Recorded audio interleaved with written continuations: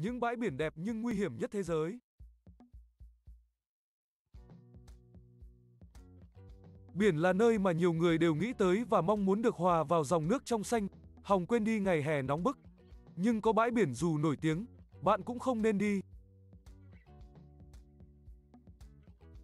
Bãi biển Châu Patti bẩn nhất thế giới.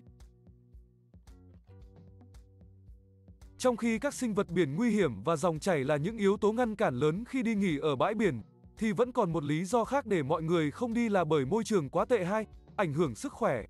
Nếu bạn không thích uống phải nước thải khi bơi, thì bạn nên tránh bãi biển Châu Patti ở Mumbai, Ấn Độ. Mumbai có khoảng 18 triệu cư dân và là một trong những thành phố đông dân nhất thế giới.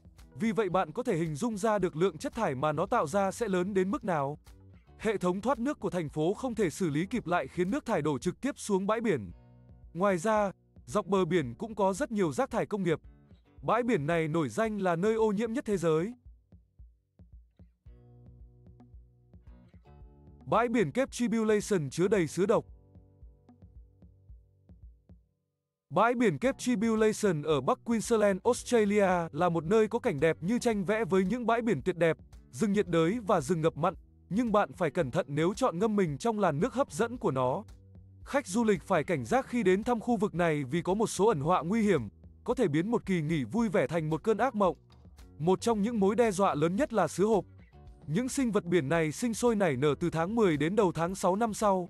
Nếu bạn bị một trong những con sứa này đốt, nọc độc của chúng sẽ tấn công hệ thống tim mạch của bạn.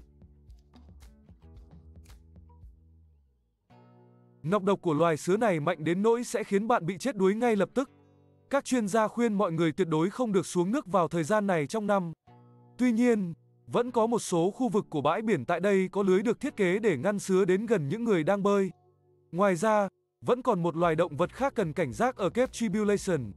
Đó là cá sấu nước mặn. Chúng có khả năng ẩn mình trong cả vùng nước nông và sâu, vì vậy cả đại dương và vùng nước ngọt tại đây đều ẩn chứa những mối nguy hiểm tiềm tàng.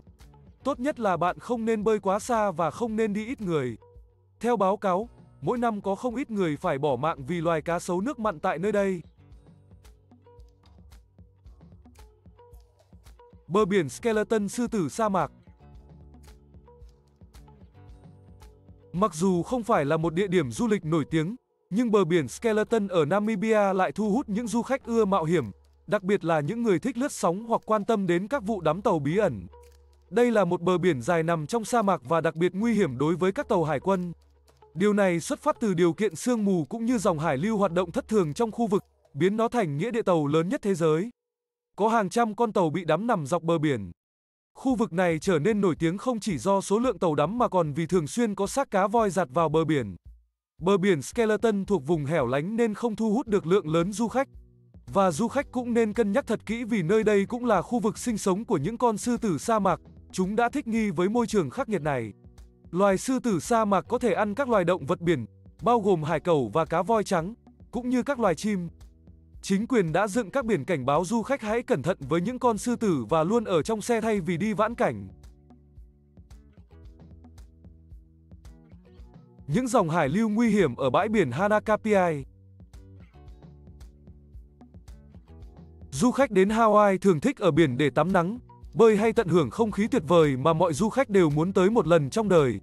Trong khi nhiều bãi biển hoàn toàn thích hợp cho bơi lội và các môn thể thao dưới nước, thì vẫn có những khu vực biển ở đây tốt nhất không nên dừng chân. Một trong số đó là bãi biển Hanakapiai hẻo lánh trên bờ biển Napali.